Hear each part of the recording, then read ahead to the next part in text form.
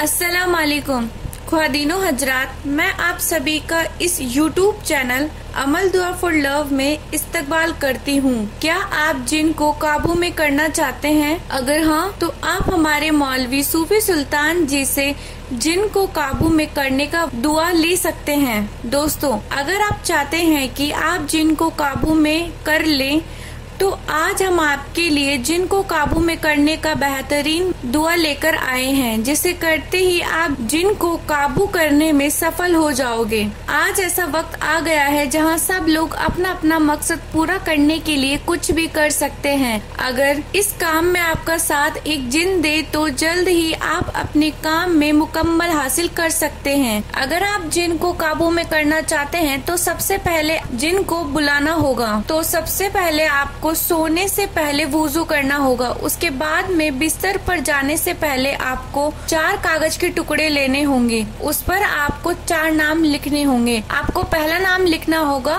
फिरोन। दूसरा नाम लिखना होगा कारून तीसरा शदाद। चौथा नाम हमाम।